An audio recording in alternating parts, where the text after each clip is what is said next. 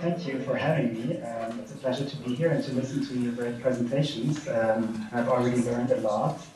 So yeah, so Anna cannot be here unfortunately because she's sick, and so I'm working with her here at the University of Vienna in uh. Um, and I will be sharing, okay, some of our uh, plans for this project. So um, I will be, I'll, let me start by outlining a challenge in, in this project, which is um, that political polarization is increasingly straining democracies. Uh, at the same time, we are facing a challenge uh, in the climate crisis to reorganize economies and also the foundations of democracy uh, to cope with that challenge. And so um, we, we really need a lot of political trust and policies that resonate with citizens' political passions to engage with this problem. So what we are doing in CIDAPE is um, that we are basically looking at emotions in the climate crisis. So that is the first um, approach. Um, and so what are emotions in the climate crisis? A lot of them actually. So um, for example, citizens may feel patronized for not being able to say what they want um, or for being made to feel bad for certain practices such as driving cars or eating meat. Um, and then there's also increasing research showing that there's um, that there are specific climate emotions like climate anxiety, eco grief, or a sense of losing control.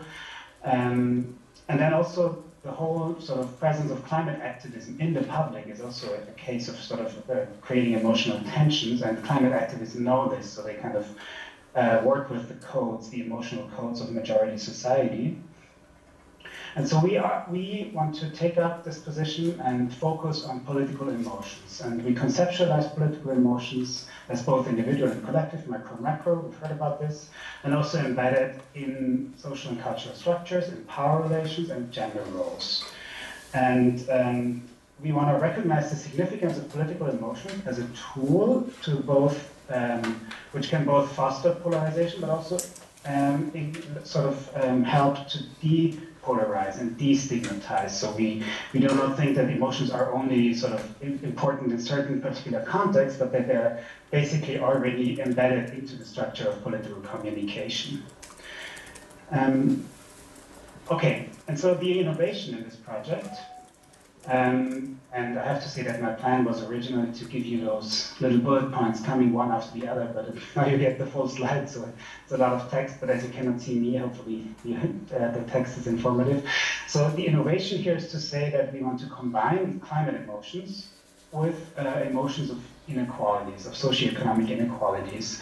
And why is that? Because um, we, we pick up this literature saying that um, we know that economic inequalities really affect democratic participation negatively. So they fuel distrust, even polarization. We know that people feeling excluded on the basis of economic uh, inequalities. Uh, at, the, the, at, the, same time, we have climate change as a process that actually exacerbates these inequalities. Um, and a third point, and this is important because it's, and this is something that also the first presentation was talking about, and others of you have talked about this as well, which is that, in fact, people care about the material circumstances uh, and the economic inequalities that surround them through emotions, such as pride, envy, rejection of envy, shame, contempt, anger, hope, or solidarity. And there's a literature within sociology, especially on sort of the emotions of how people process economic inequalities, um, and so we want to think those two things together, so the climate emotions and the inequality emotions, and, and, and sort of see, also empirically see how these two go together. And the question then is how do people make effectively sen make effectively sense of the climate crisis through climate emotions and emotions of inequality? And what are the implications for political trust and democratic participation? So this is um, our team here at the University of Vienna, um, but I'm going to sh uh, show you our consortium in a second. So just that you can see a picture of Anna, who is the coordinator of this project. Um, and then I'm in charge of work package four, which is specifically on uh, what we call climate boundaries, um, which is um, sociological approach to, to everyday uh, um, polarizations, and morality also really plays an important part in it. And then we have uh, here at the University of Vienna also a team from communication science, um, with Link and Hajo Boomgaarden, and Zita Zerova just joined us as our um, project administration here.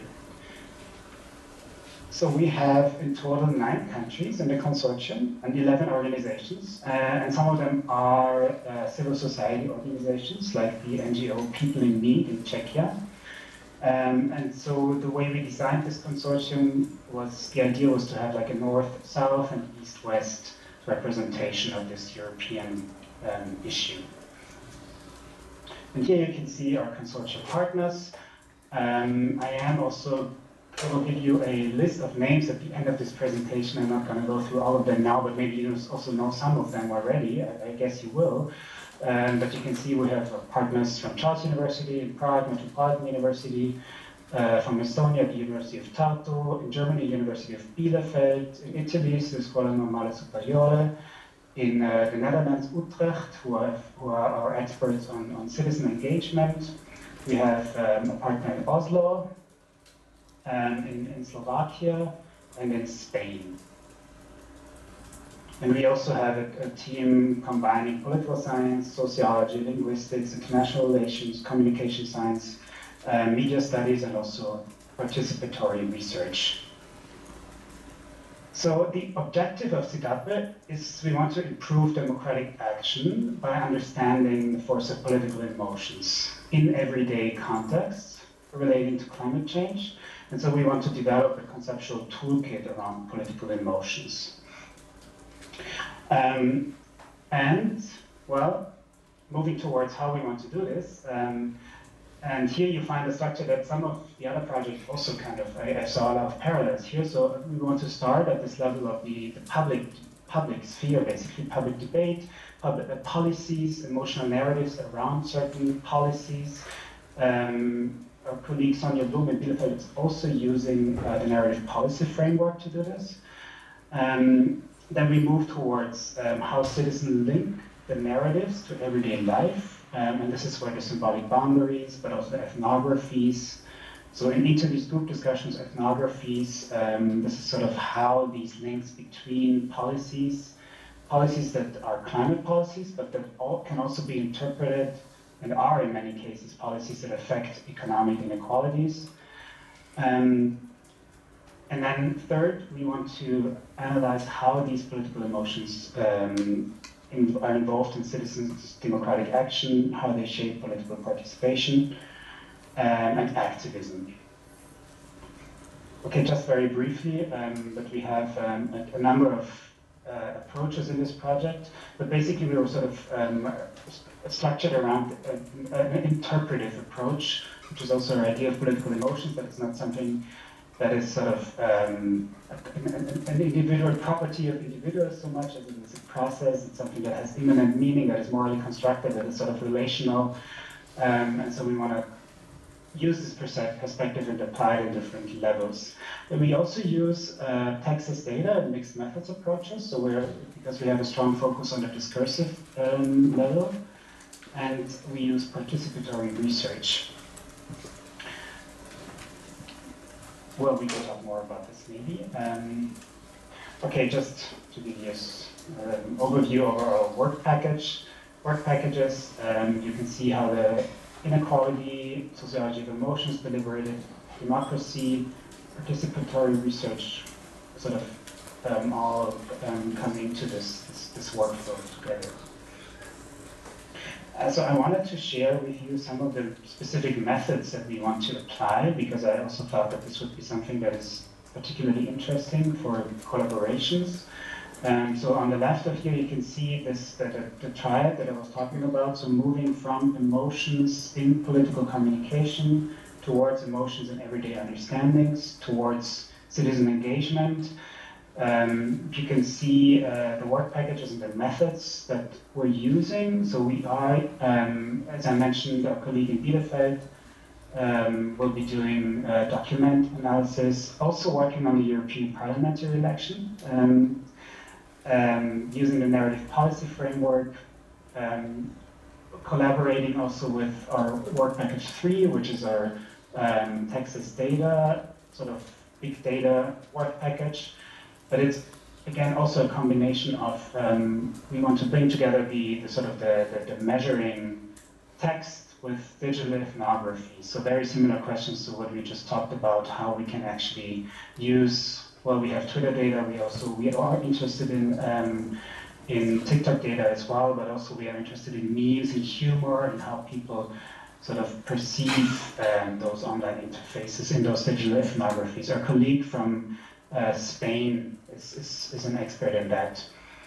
Um, and then we, we use interviews and focus groups. I, I mentioned this. Um, and here we have a comparison of four countries, Norway, Austria, Slovakia, and Spain, where we want to um, use similar methodology, interview and group discussion methodologies in those four cases and compare.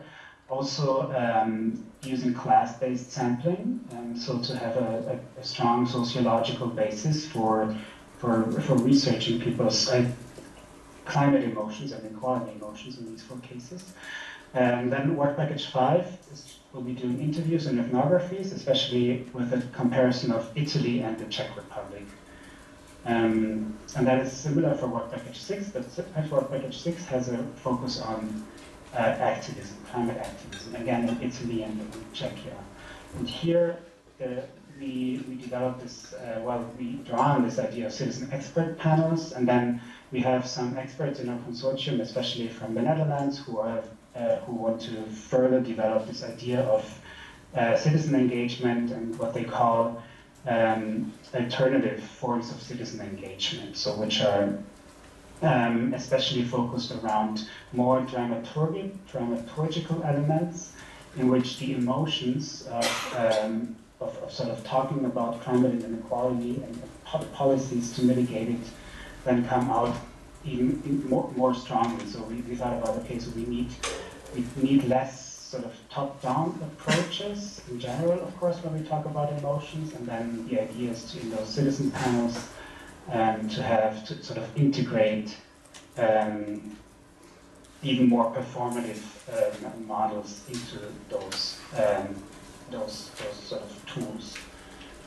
And as you can see, so the idea in Work Package 7 then was to, to have, um, to, to also disseminate those, um, those those findings, those citizen engagement panels, and uh, in different countries. Okay, actually, this is just another slide on the methods, but I wanted to show you that we're using the same similar methods across the work packages also. So, and so we also we can also we also want to have a, a methodological debate among the work packages here. That's the idea. Um, so how is this going to improve citizen participation? So um, I mentioned that we have a work package of climate activism, so that is a major um, element of this whole idea. Um, so we want to understand how people's how people act on climate emotions and inequality emotions informs their sense of agency in activism, but not only in activism, um, but also in those more mundane everyday settings. Um, and then we have, as I mentioned, citizen panels. We want to hold them in work package 7 and 6 as well. Um, and then this is also the, the, main tool to, to sort of create connections to policymakers, artists, activists, stakeholders in different fields, uh, organize workshops, um, drawing on models such as the theater of the oppressed, which I mentioned earlier, sort of more dramaturgical approaches to the citizen um, engagement um, models. And the Work Package 7 will also create a documentary, so um, in which these emotions will be staged and can then also be analyzed to, to get a better understanding of how they affect the, the, the process of deliberation. Okay, um, yes, so maybe I, we can talk more about dissemination um, in the discussion. Um, I wanted to share also um, the networking opportunities since we're not uh, in, in, Portugal with you. Um, I mentioned that we have a range of different disciplines and that we are also attending these disciplinary conferences, and so that might be another uh, opportunity to, to actually meet up and, and, and, and um, plan activities together. we are, we will have a, a project website very soon and social media channels. It is very likely going to be cidape.eu. Um, and here you can see, um, again, a few of, well, a few of the names of the people who are actually in charge of the work packages. There are more people involved, so this is not an exhaustive list. But so just that if you, if you recognize some names, if these are colleagues, um, maybe you can also get in touch and see that, um, kind of create, create these um, links. Okay, I think that's all from my side, and I'm well, thank you also for bearing with me, even though I'm not in the room with you, and um, I'm looking forward to to hearing from you and to, to working with you.